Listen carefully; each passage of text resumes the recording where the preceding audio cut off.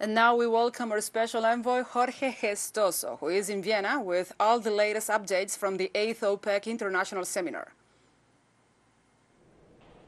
A sustainable and inclusive energy transition for the future, that's the theme of this eighth seminar, international seminar from OPEC here in Vienna, the headquarters of OPEC,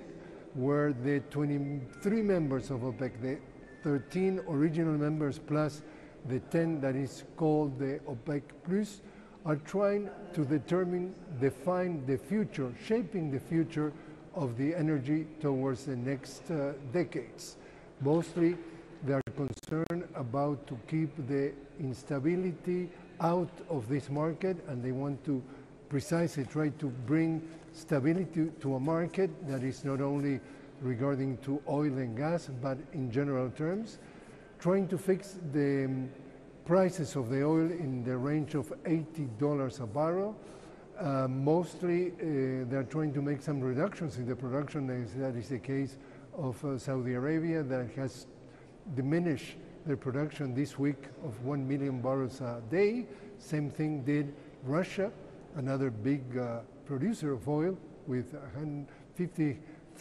500,000 barrels a day. So in about uh, three or four countries, they're trying to slash 1.6 million dollars a day of barrels in order to keep the prices in that range of 80 dollars. Here are present not only the members of OPEC, but also consumers,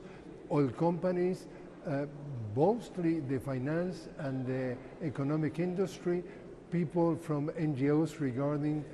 the environment, and they're trying to see the future of gas and oil and the possible impact in the, in the increase of the temperature of the earth towards 2050. The, this seminar is going to take place today and tomorrow, two days uh, range, and mostly it's going to be a big, if you want, debate in between the ones that I want to keep the level of production that are really as of today that permits the countries of OPEC survive